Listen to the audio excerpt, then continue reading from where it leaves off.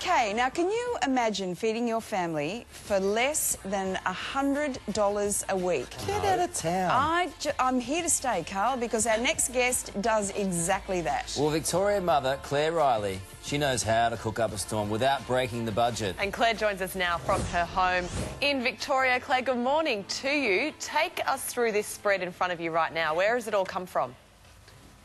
Good morning. Well, um, yesterday I went and did our regular fortnightly grocery shop. Um, so we've got this um, selection over this side here is from Aldi. So it's not just groceries. We also get our dishwashing detergent and clothes washing. Um, and I do most of our house cleaning with vinegar and bicarb. Um, and nappies for our two and a half year old. Um, then I also go to the local butcher, and that's mostly because I like the quality of their meat and I like to be able to have a chat to the people behind the counter.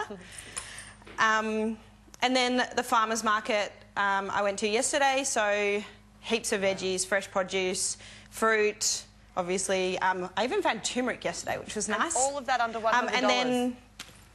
No, um, well, yeah, so this was a, t- a fortnightly shop. I, we do our groceries for fortnightly. So it was $192 for everything you see here, which will feed us for a fortnight. That's Golly, that's amazing. Yeah. And so is that part of Yeah. the trick, Clare, that uh, do you follow specials around? Is that how you keep to that budget? No, I um, I don't tend to follow specials around. We don't get catalogues and, and that sort of thing. Um, I just know that for us, the best deal is to do our bulk shop at um, Aldi. So, um, you know, cheese is really cheap there, and um, flour and the nappies and, and all of those sorts of things are cheaper. Um, and um, the farmers market's obviously a great option because you get to meet the farmers and talk to them, and you're buying super fresh and like local produce often. So, yeah.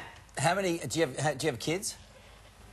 We do. We have one two and a half year old son, Elliot. Okay, so he's not really, he's not munching into your budget at this point, because I don't know if I put that chicken out the front of the He, kids. Or just a teenager. he, um, he, he does. I mean, he does. The other night he ate three bowls of pasta for dinner, so he has days where he eats heaps, and he ate, has days where he doesn't eat. Oh yeah, he loves it. Well, what other tips do you have then to, to, to help folks out there? Well, I think for us, a big thing is meal planning. So we um, sit down and I come up with about 10 meals a fortnight. So obviously, you know, you might eat out or you might go around and visit friends or have leftovers or that sort of thing. So about 10 meals a fortnight. I only try and have less than 50% of those as meat meals. And I try and get a lot of meals out of one thing. So this chicken, we'll do three dinners. So we'll do a roast, we'll do stock and a soup, and then we'll probably do tortillas or baked potatoes or something with the leftover chicken. Um,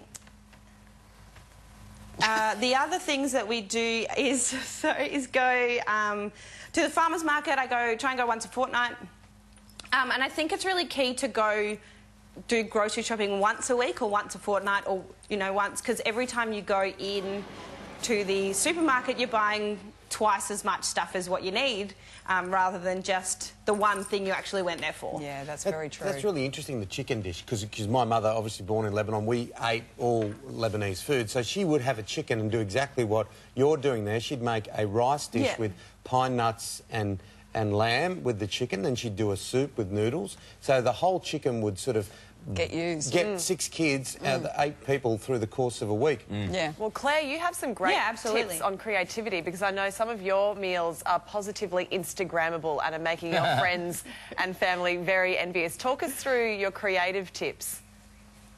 Well, I suppose my passion is food, and I love being in the kitchen. I love our kitchen, um, and so I just like to be creative and use what we've got. And so I think that's also one of the things is use what you've got um, and don't just go shopping because you need a zucchini. Replace it with carrot or pumpkin or um, that sort of thing, and don't waste stuff. So this is a huge cabbage, and we'll never like it's massive, and we would never eat that in um, one fortnight. So what I'll do with the leftovers is I'll make sauerkraut, um, and then we'll use the sauerkraut for months after and add that to meals that way. You would just about never have to clean out your fridge because nothing would ever go off No. because you're using it all. No. Yeah, and if we do have to clean out the fridge, we've actually got um, five chickens out the back, so all of our scraps go straight there. Great. And do you take their eggs? Yeah, yeah. We give them the food in exchange for the eggs. That's how it works. Do you get good reviews from the kids? Because that's crucial, isn't it?